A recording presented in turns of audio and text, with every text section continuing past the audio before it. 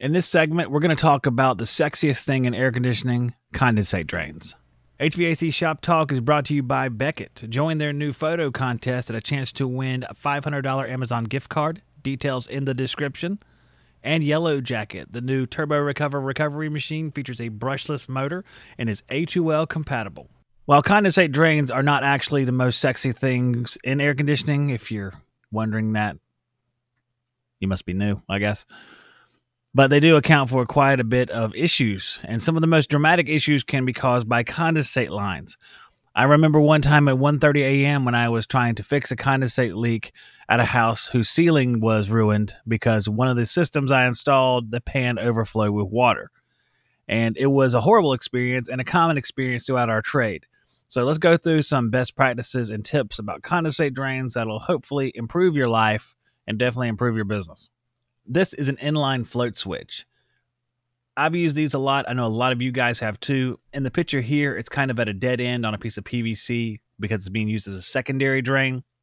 Basically, you have a primary drain coming off a system, and then you'll have a secondary as well, and it just deadheads into a float switch. A lot of times, people will do that just to keep the float switch out of the primary line. A lot of times, people will use these T shaped inline float switches on primary drains I used to use them a lot where they go into a P trap. And I found that in some cases, not this particular switch, but some of these switches, when we have a more gooey environment, there's a lot of aluminum coil issues out there. A lot of you guys know about where slime is created on the coil. I had a system that was aluminum coil made by Nordyne that gummed up so bad the switch failed, and that's what led to the overflow on the ceiling I was talking about earlier you have to be mindful of where you put these switches. I think some of these switches that block a significant part of the drain may be a leading cause in this. That's my opinion. You guys put your opinion in the comments or email me at hvacshoptalk at gmail.com. I definitely think you should be weary of where you place a condensate switch, especially one that blocks a significant part of the condensate tubing here's another look at that same scenario I was talking about where you have a condensate switch, the inline switch, but used in the secondary. This way it's out of the primary drain, doesn't block anything, it's sitting in the secondary to prevent overflow into that pan below. The pan below has a secondary drain coming off of it that runs outside, not to divert off topic too much, but when you run a secondary drain outside, typically it'll go out into a soffit. Sometimes it'll run all the way to the ground. Where I live, you have to denote the secondary from the primary we used to have to do that with red tape. You had to put red tape on the end of the secondary so the inspector would know that it was the secondary, and not the primary drain. So the homeowner could walk around the house and see which one was dripping. If you saw the secondary dripping, you knew the pan was full and there was an issue and you needed to call your heating and air professional or ignore that and go up in the attic with a shop vac and ignore any real issue that's forming. A few other things we can notice in this picture besides having a good amount of drains there. You have the secondary drain off the pan, which is a good thing to have. You don't have the secondary drain off the unit into the pan. That's something I've seen a lot of times. But you know what? Whenever you have that up in the attic, it's going to be sucking air through that secondary drain all the time for a air handler. For a furnace with a blow through coil, it's just blowing air out into the attic. Either way, it's an efficiency loss, not that big of a deal. A lot of times that happens with furnaces anyway, but something that should be considered. So here's our primary drain coming through here. We have our P-trap, which is good. We're going to talk about those in a second, into our vent, which is here. The reason why we have this vent is so we don't have vapor lock in the lines in between two sags.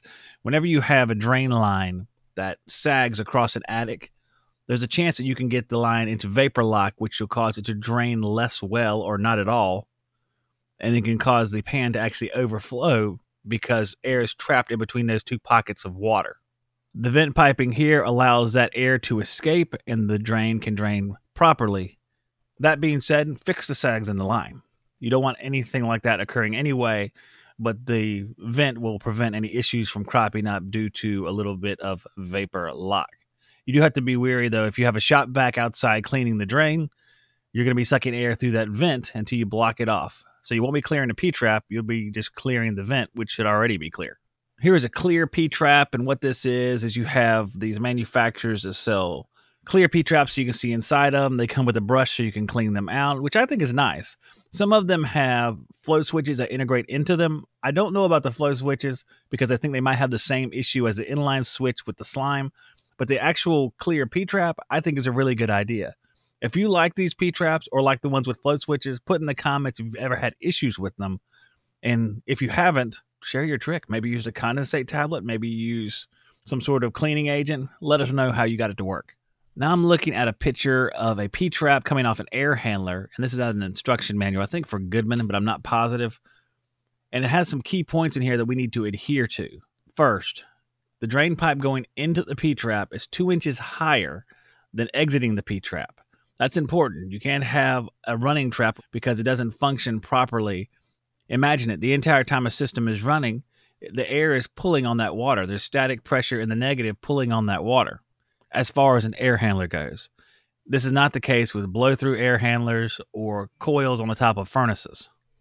It's important that a P trap is deep enough so you can overcome any negative pressure issues in the trap.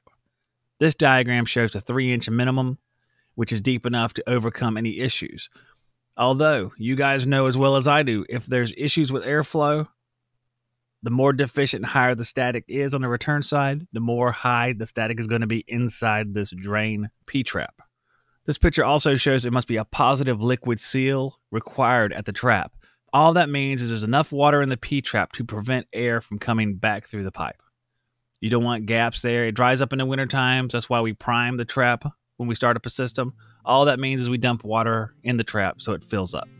There's some short and sweet drain tips right there in this segment. If you have any questions or suggestions about what else I could cover on these segments, be sure to let me know in the comments. And I will see each of you on the next one. And God bless each and every one of you.